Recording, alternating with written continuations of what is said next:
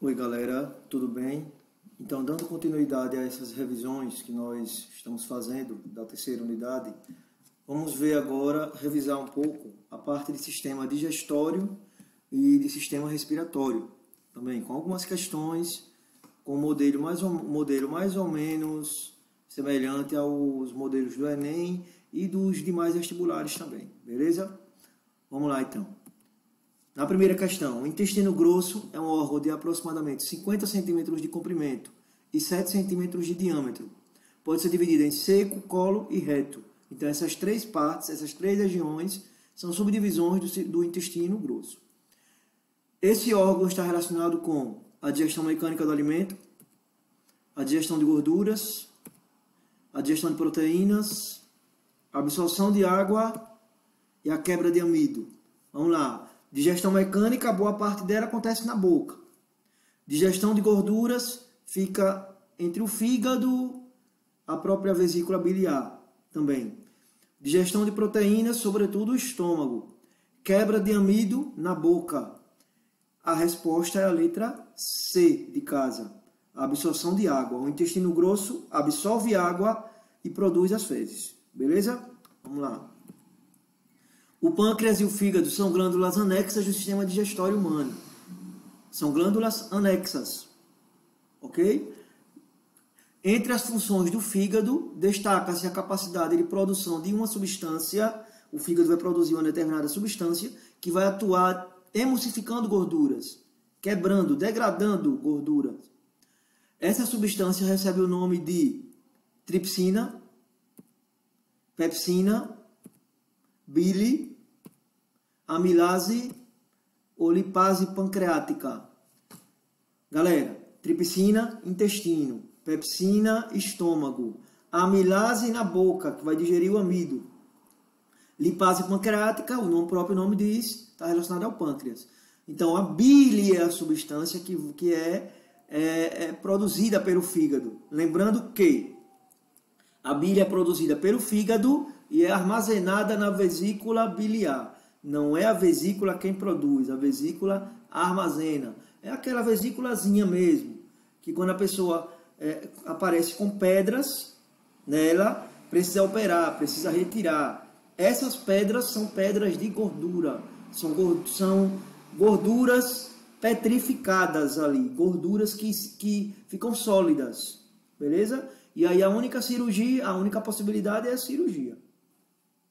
Hoje em dia pode fazer por vídeo ou pode fazer a convencional, que é cortando mesmo, fazendo o cortizão lá, no bisturi, cair no canivete, como a gente diz. Então, letra C. Terceira questão. O sistema digestório é formado por diversos órgãos que atuam juntos para conseguir retirar dos alimentos as substâncias necessárias para o nosso corpo. O amido só pode ser aproveitado após ser quebrado em partículas menores. Marque a alternativa que indica corretamente onde se inicia a digestão do amido. Acabamos de falar, né? Na boca. A boca produz a ptialina, chamada também de amilase. A amilase é quem vai. A boca não. Na boca, na região da boca, algumas glândulas produzem essa, essa, essa enzima, que é a amilase. Ok? E é a amilase que vai digerir o amido. Portanto, terceira questão, letra A. Quarta questão. O estômago é o órgão responsável pela digestão das proteínas. Beleza. E para isso, ele atua de forma conjunta com outros órgãos do sistema, do sistema digestório. Perdão. Uma das principais ações do estômago é a produção do suco gástrico, que é composto por uma potente enzima, a pepsina. Acabamos de comentar isso, né? A pepsina vai agir na digestão de proteínas no estômago. Beleza? O suco gástrico é contido no estômago quando a mucosa gástrica sofre, sofre perda de nutrientes, negativo, os lipídios são diluídos pelas substâncias produzidas pelo esôfago, não tem nada a ver, lipídio a gente já viu, que é fígado e vesícula. Letra D, as glândulas salivares liberam ácido clorídrico, se as glândulas salivares liberassem ácido clorídrico, a gente estava frito. Certo? Nossa boca era cheia de, de perebas, de feridas, de úlceras.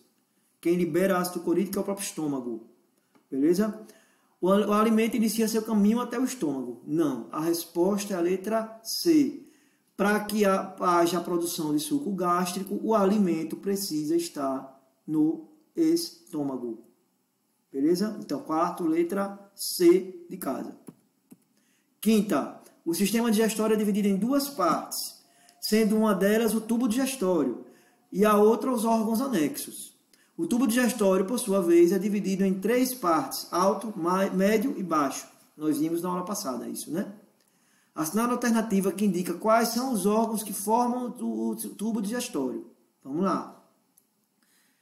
Faringe, laringe, pulmão. Já manda para o espaço, tem nada a ver. Pulmão é respiratório. Boca, laringe, faringe, vesícula biliar e apêndice. Laringe. A laringe nem tanto, né, gente? Seria mais a faringe. A laringe é mais do respiratório. A faringe, sim. Faz parte do digestório também. C. Estômago, intestino delgado, fígado e rim. Que rim, coisa nenhuma, tá, tá bêbado. Não, o rim é do sistema urinário ou sistema excretor. Nada a ver. Letra D, tá cheio de erro aí, né? Logo de cara. Laringe e rim, já comentamos. Então a resposta é letra E, pela ordem: boca, faringe, esôfago, estômago, intestino delgado e intestino grosso. E aí entra também, claro, o pâncreas, o fígado, que também vão atuar. Beleza? São órgãos anexos, lembrem disso. Sexta questão. Assinale a alternativa que apresenta uma estrutura comum ao sistema respiratório e digestivo. Vamos lá. Brônquios, negativo. Brônquios é sistema respiratório unicamente. Faringe, pulmão, pulmão é respiratório. D, esôfago, esôfago é só do digestório. E, laringe, é respiratório. Então, letra B é a resposta. Faringe. A faringe é uma estrutura comum aos dois sistemas, respiratório e digestório. Aí de cara a gente já sabe o que é que se trata, né? Logo vendo a imagem, a gente já percebe o que é, do que se trata, do que trata a questão. Vamos lá. O sistema respiratório é composto por órgãos que atuam no equilíbrio do organismo.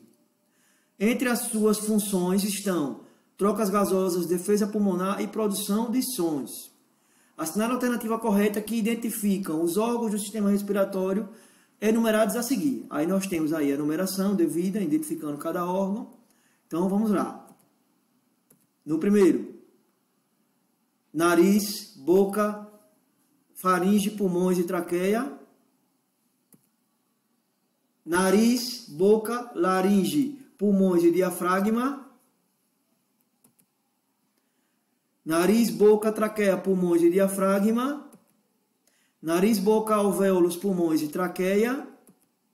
Nariz, boca, brônquios, pulmões e diafragma. Vamos lá. O primeiro são o nariz, fossas nasais, as cavidades nasais. O dois, aí nitidamente trata-se da boca, né, galera? Nitidamente.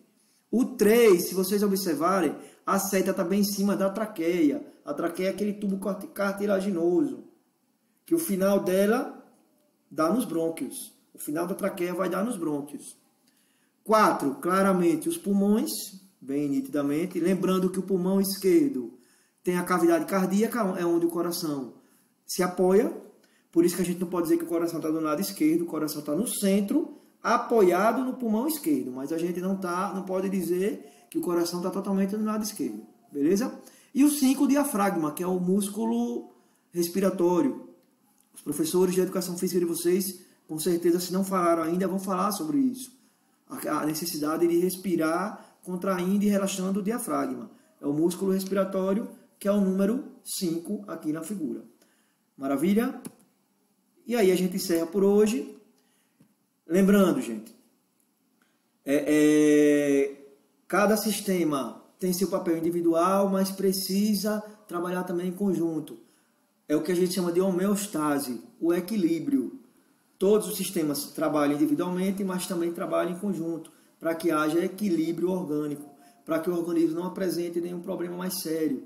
Quando um sistema falha, também acaba acarretando problemas em outros sistemas também, geralmente. Beleza? Então a gente fica por aqui. Na próxima aula a gente dá continuidade ao conteúdo. Qualquer coisa é só chamar aí no, no privado e nos, no plantão também a gente tira dúvida. Maravilha? Um cheiro, um abraço, até mais.